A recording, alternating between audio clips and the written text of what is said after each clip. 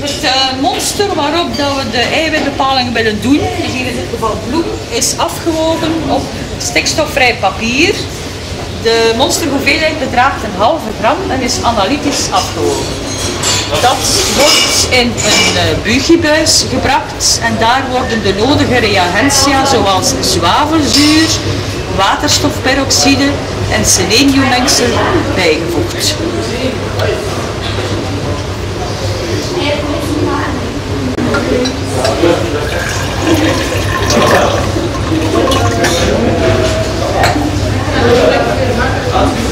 Zo werkt men voor de Hanse set verder en deze wordt dan in een destructieblok gebracht om uh, de stikstof in feite uh, los te maken uit het materiaal.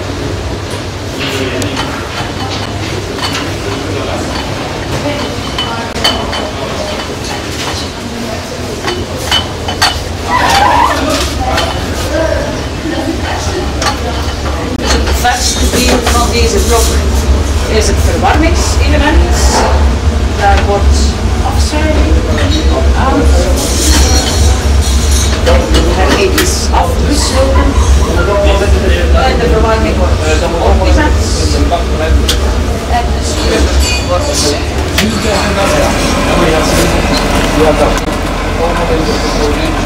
dus na een tijdje begint de vloeistof hevig te koken. De zure dampen worden afgezogen via de scrubber en neergeslagen.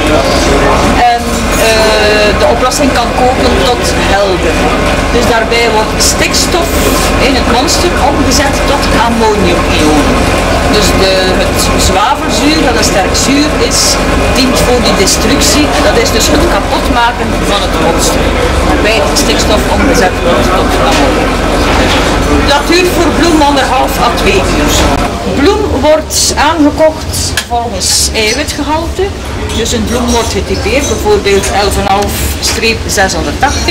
En dat betekent 11,5% eiwit op de droge stof en 0,68% as. Eiwitgehalte is belangrijk in bloem, want hoe meer eiwit dat er in bloem aanwezig is, hoe duurder de bloem. Eiwit staat ook voor een bepaalde kwaliteit. Hoe meer eiwit, hoe uh, beter of misschien sterker dat de bloem is. Dus na het uh, destrueren laat men dat uh, koelen en wordt zo'n buis naar het destillatieapparaat gebracht.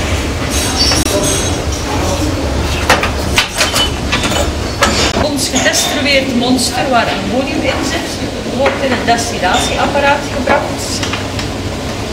We gaan dat laten stoom destilleren. Er wordt water bijgevoegd, er wordt water bijgevoegd en uh, de ammoniak die zal ontstaan zal opgevangen worden in. Uh...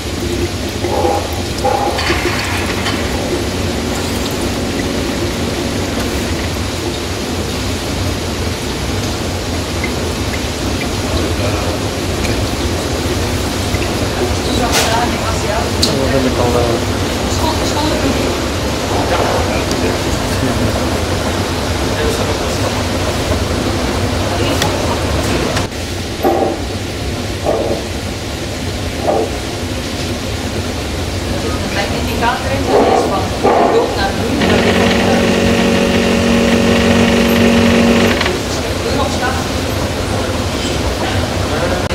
Dus in de RWD'er zit eh, stikstof, ammoniak eigenlijk, en de hoeveelheid daarvan moet bepaald worden.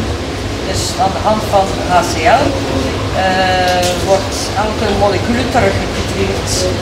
Dus hoe meer stikstof in de RME'er zit, of hoe meer stikstof in ons bloemmonster zat, hoe meer HCl er moet toegevoegd worden.